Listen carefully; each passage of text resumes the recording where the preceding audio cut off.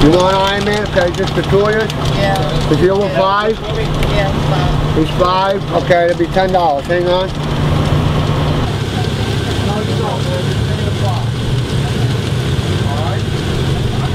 There you go, sir. Screen two, straight ahead, 102.1. You're welcome.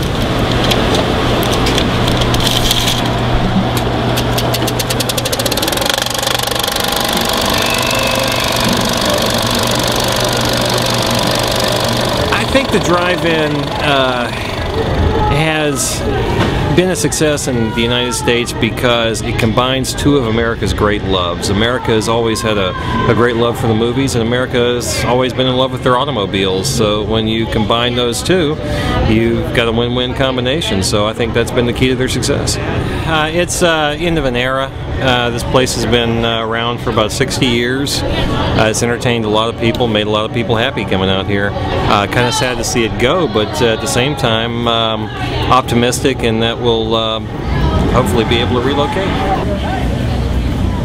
I've been watching the people coming in and out of here now for the last eight months, and it's it's quite real as far as life goes. You know, it's just uh, it's different. It's, um, it's more real life. You know, I'm gonna miss it. Everybody's gonna miss it. Well, if you look back at the drive-in, it's always been a place where you go out and be yourself. You didn't have to worry about being all closed in and you know, and everybody having fun. You see the children running around and having a good time. And even when I was a kid, I liked it.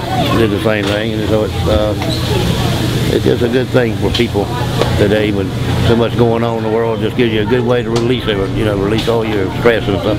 Uh, funny enough, growing up abroad and seeing American films and American documentaries, and you always see the drive-in, big American icon, and then you've got the last one in Northeast Florida that's closing down. It's pretty sad.